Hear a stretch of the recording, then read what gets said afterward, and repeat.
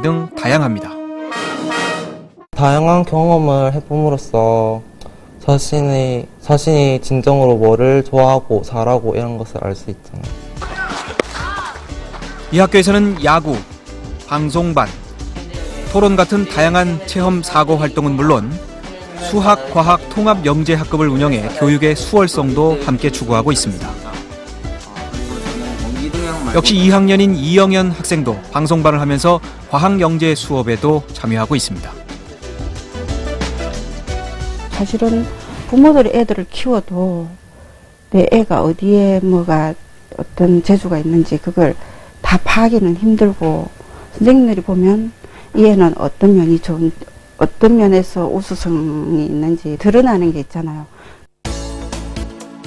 SBS와 교육개발원이 제시하고 있는 이른바 미래 학교의 구성 요소는 미래성과 수월성, 형평성, 다양성, 사회성입니다.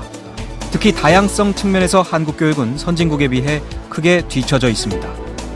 입시의 성공에서 입신, 양명하자는 획일적 기준과 목표에 의한 교육은 산업화 시대에는 맞을지 모르지만 미래 사회에는 어울리지 않는다는 게 이번에 미래 학교를 선정한 이들의 생각입니다.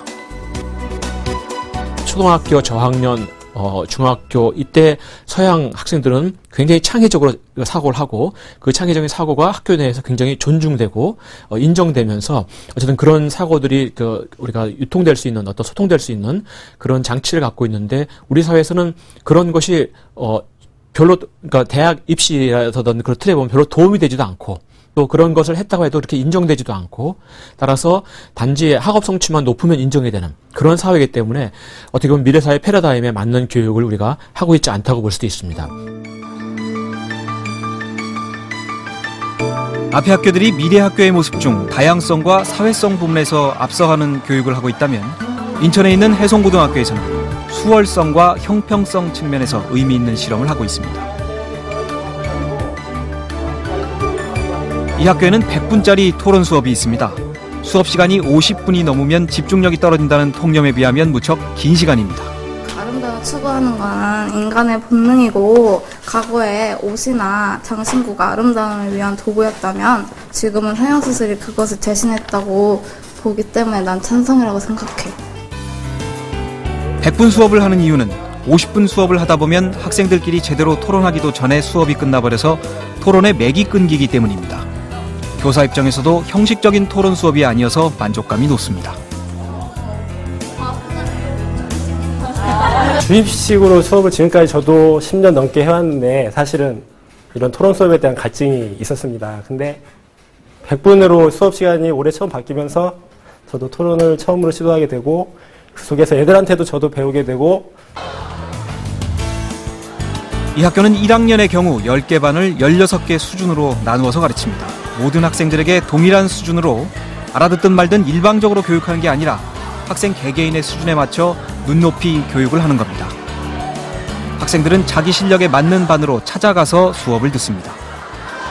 다 다른 수준의 학생들을 한 교실에 몰아놓고 수업을 하면 다 모르는 것도 다르고 아는 것도 다른데 질문을 하고 싶어도 친구들끼리 좀 눈치를 줄 수도 있고 물어, 선생님께 질문하고 싶어도 좀 눈치가 보여서 못하는 경우가 많은데 그런 점이 좀 불편했어요. 보통은 이제 그냥 전체 반일 때는 아까 말씀하신 대로 이제 중간 수준에 맞춰서 아이들을 가르치잖아요. 그러다 보면 그 밑에 수준이나 위 수준의 아이들이 사실은 좀 소외되는 부분이 있습니다. 근데 여기는 비슷한 수준이 있기 때문에 그 아이들 거기에 맞춰서 굳이 제가 뭐 애들이 알고 있는 부분에 대해서 또다시 설명할 필요는 없고요.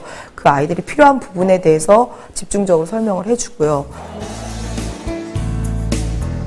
이 학교 역시 교과 수업 외에 봉사활동 관련 동아리, 스포츠 관련 동아리 등 학생 한 명이 세 개의 과외 활동을 하게 해서 사회성을 기르게 유도하고 있습니다.